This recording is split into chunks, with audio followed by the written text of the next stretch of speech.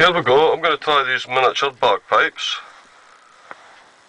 See how we got on. Don't expect too much.